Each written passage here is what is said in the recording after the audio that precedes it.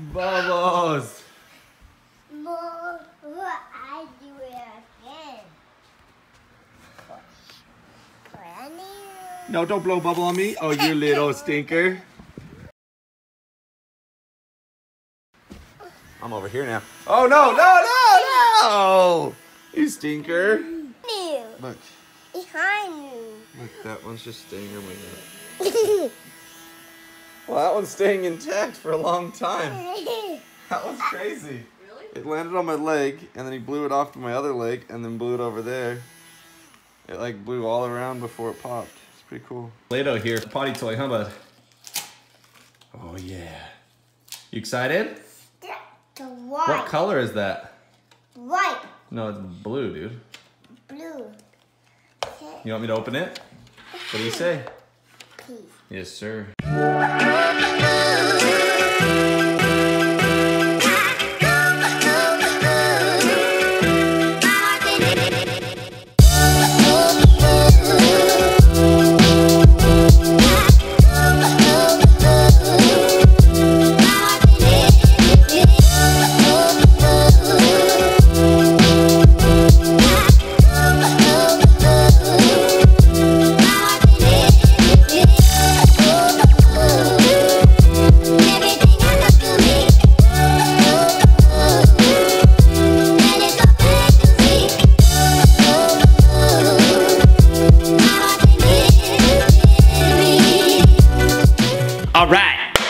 Corey and I, he's only in town for a short time.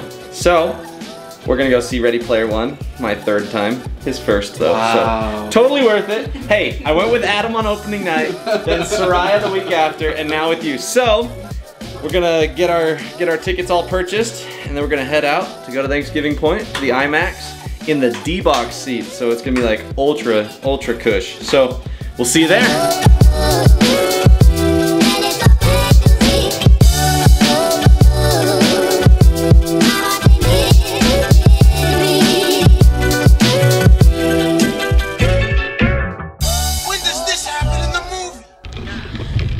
Got back from the movie. Third time's a charm. Such a great movie. Really enjoyed it. Corey and I talked a lot about the uh, differences from the book, which, if you've read the book, there are quite a few differences. But if you can look at them as a little bit different entities, you know, the book as its own story and Ready Player One, the movie as its own story, both of them have a lot to appreciate.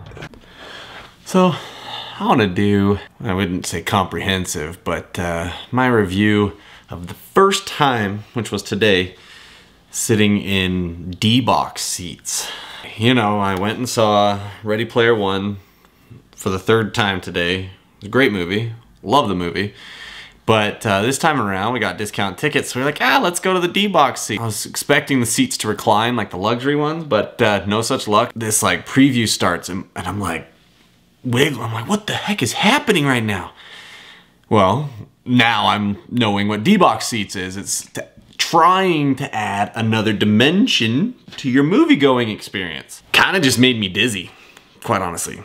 And it was actually quite distracting. I mean, it was fun. Don't get me wrong. It was kind of fun, but I, I found myself laughing more often than I, I would have.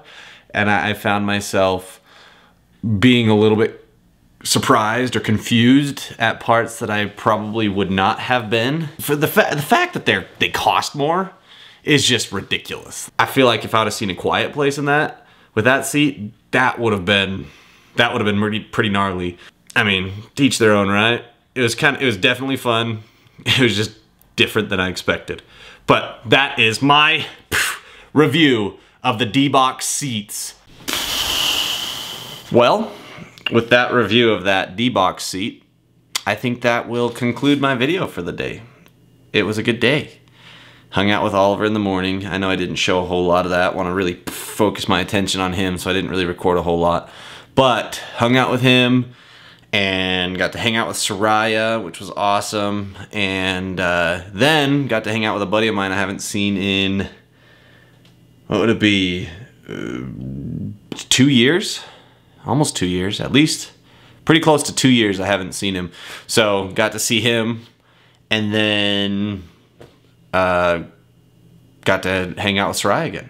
Um, I was gonna go hang out with Ryan, but Sariah had a little bit of a tough day with Oliver because of potty training and stuff. So I hung out with her, and it was a good day. It was a great day actually, and I hope your day was great. And I'll catch you tomorrow. I'm going to church, and should be get, should be nice. A little bit more of a chill day. Get to stay at home, get to hang out. Rachel and Austin are coming again tomorrow, so should be fun.